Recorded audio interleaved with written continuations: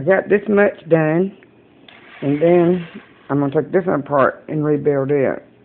These are 14 karat class. And if you can go to sleep. Good night, YouTube.